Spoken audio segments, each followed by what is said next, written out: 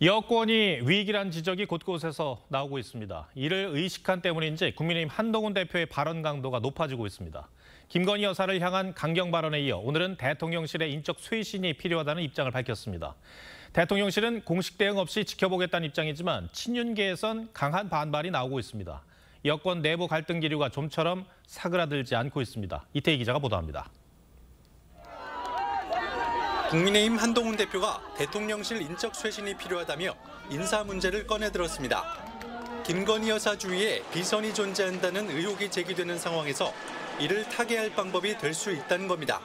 국민들의 우려와 걱정을 불식시키기 위한 대통령실의 인적 쇄신이 저는 필요하다고 생각합니다. 개혁하는 중요한 출발점이 될 거라고 저는 생각합니다.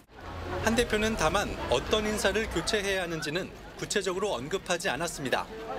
사흘 전 김 여사 활동 자제를 언급한 데 이어 그제는 국민 눈높이에 맞는 검찰 수사 결과를 강조했는데 오늘 발언은 수위가 한층 더 높아졌다는 관측이 나옵니다. 친윤계에선 한 대표가 대통령 고유 권한을 침해한 것 아니냐는 반발이 이어졌습니다. 오선의 윤상현 의원은 윤석열 대통령과 독대가 예정돼 있는 상황에서 충분히 비공개로도 얘기할 수 있는 문제라며 독대 의지가 있기는 한 건지 모르겠다고 했습니다. 대통령실은 한 대표 발언에 공식 대응을 자제하며 상황 관리에 나선 모습입니다.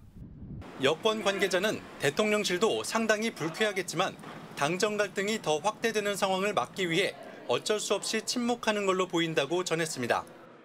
한 대표가 김 여사 논란을 지렛대로 삼아 당정 관계 주도권을 확보하려 한다는 분석과 함께 공세 수위가 더 높아질 경우 독대가 무산될 수 있다는 우려도 나옵니다. TV조선 이태입니다.